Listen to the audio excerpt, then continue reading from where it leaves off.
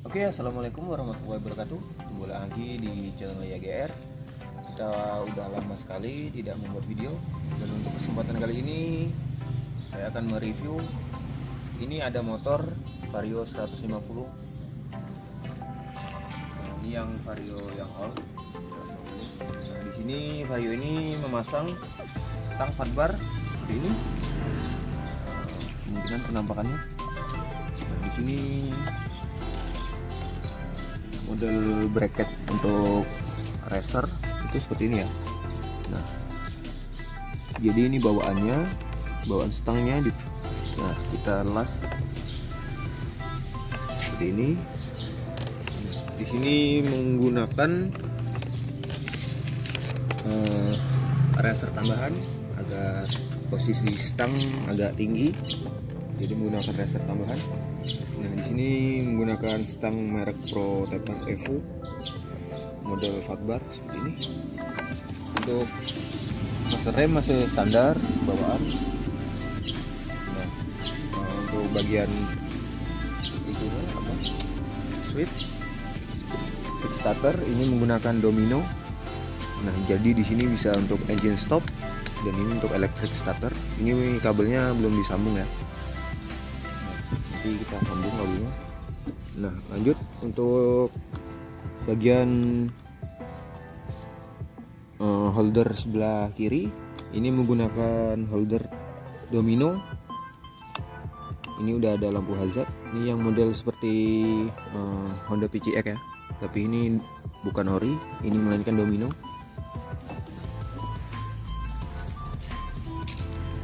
sebenarnya itu sayang banget ya motornya dibuat seperti ini. Karena ini motor standar. Tapi ya tiap orang punya selera masing-masing jadi kita nggak bisa menyalahkan. Jalo jalo aneh nggak teli. Nah, selera dia kan. Nah, untuk speedometer ini nanti dipasang speedometer ya. Oke kita buka dulu speedometernya.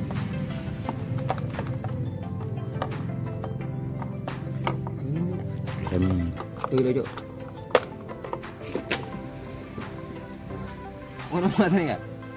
Oke, nah di sini untuk kelengkapan. Nah, di sini untuk speedometer ini menggunakan beat street. Beat yang model itu ya, seperti ya. Yang modelnya seperti inilah kurang lebih. Stangnya udah seperti ini, jadi nanti posisi uh, speedonya tuh di sini. Kurang lebih speedonya di sini. Nanti kita buatkan bracket. Nah, untuk uh, soketnya ini enggak ori ya. Ini soket beli di online. Nah untuk sepedanya ori dari Honda TJMFI nanti kita cari dulu uh, untuk pin-pin soketnya. Menuju ke soket bawaan sepedanya ini. Kita sambung. Nah kurang lebih seperti ini. Menampakkan sepedanya seketika dipasang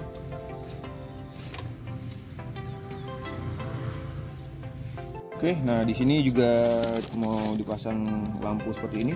Ini lampu daymaker ya. Ini bukan daymaker sih, kayak, daymaker. Tapi ini model lampu tembak. Nah, ini udah dibekali baut bautnya. Ini bracketnya seperti ini mungkin. Mungkin nanti posisinya di mana ya? Di sini ya.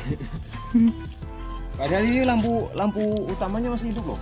Nah, kita hidupin ya ini lampu utama masih hidup tapi ini mungkin dipasang di sini ya untuk lampu tembak ya. Biar anak touring. Gak kodok jo.